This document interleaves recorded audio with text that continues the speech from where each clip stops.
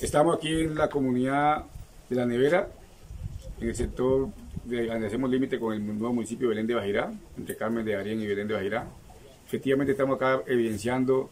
eh, la erosión que ha causado el río Río Sucio en este sector, en el cual viene afectando eh, la vía carreteable que hoy eh, pasa muchos camiones por este sector. Tenemos aproximadamente una producción semanal de más de 10.000 cajas de exportación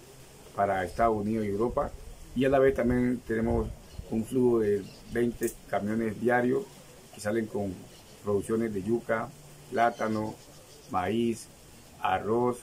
maracuyá para el interior del país. Hoy le pedimos a, la unidad de atención de desastre que nos mire este sector, que necesitamos que nos dé la mano de manera pronta para mirar cómo mitigamos esa erosión que causa el río Río Sucio en este sector y logremos que la economía del municipio de Carmen del Darién, de más de 10.000 ciudadanos que hoy producen plátano en este sector, no se vea afectada y no quedemos incomunicados en la medida que el río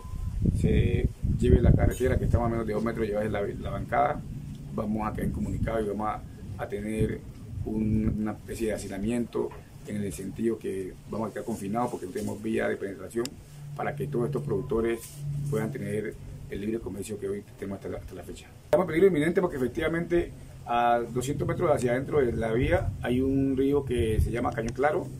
el cual se comunican más de 15 comunidades hacia, hacia abajo y en la medida que el río, río Sucio logre penetrar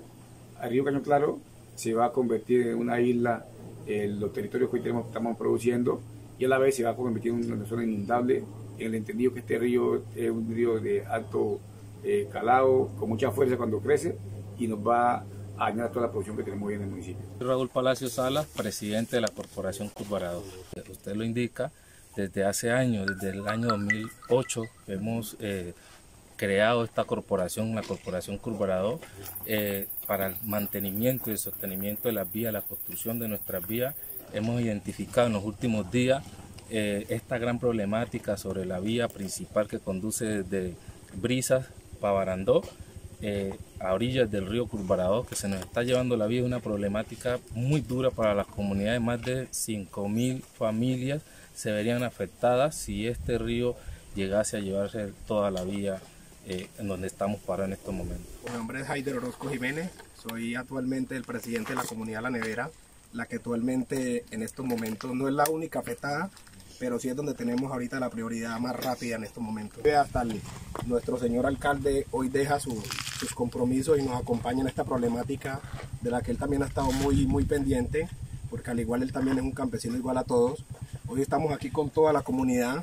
líderes. Vera es la primera que podemos decir que está más cerquita de la carretera, pero tenemos nuestros vecinos Llano Rico, El Cerrado, son otras comunidades, El Cetino, Brisa, todos nos venimos viendo afectados por esto y la mayor preocupación en estos momentos es que Caño Claro lo tenemos a menos de 200 metros, ¿cierto? Y si ya el río Río Sucio se llega a tirar por Caño Claro, aproximadamente, ya lo dijo el compañero Raúl, son 5.000 familias más o menos que nos veríamos afectadas en esto. John Jairo Mosquera Chaverra, el concejal actual del municipio Carmen del Darién por la Colombia Humana. Yo lo pertinente con el alcalde, señor alcalde, que es darle a conocer, eh, valga la redundancia, la problemática que nos acoge para que sea mitigada esta necesidad que hoy nos viene afectando nuestro, nuestro corregimiento que es Brisa. Entonces, eh, de antemano le damos las gracias a ustedes por tenernos en cuenta para nosotros poder eh, visibilizar todas las necesidades que tenemos aquí en nuestro corregimiento, municipio Carmen del Darío, y que nosotros acá tenemos unas necesidades insatisfechas y que necesitamos de que por favor se le dé ese poquitico de, como se dice, ese color para que nosotros, eh, nuestra población pueda sentirse cómoda y también a la población que hay que tener cuidado. Tenemos que ser muy precavidos porque sabemos de que es un tema que está haciendo la erupción y nos está perjudicando. Entonces tenemos que ser muy cuidadosos frente a esta situación. Mi nombre es María Eugenia Varela, presidenta de la Junta Comunal del Corregimiento de Brisas. De la mano amiga del alcalde actual, Dawison Baloyes, nos sentimos con un apoyo más grande porque la verdad es que los, las alcaldías anteriores no nos habían prestado atención, donde se encuentran nuestros corregimientos del municipio Carmen del Darién que cada día se va deteriorando más a causa de las olas invernales y no solamente aquí en el corregimiento sino en otras comunidades aledañas. Entonces le damos gracias hoy al, al alcalde Awison por tenernos en cuenta, por participar por con nosotros también. Es Caterina Murillo Mena y mi cargo soy la coordinadora de la subsede de la alcaldía de Carmen del Darién. Háblenos un poco de la problemática que ustedes están viviendo en estos momentos en estos corregimientos.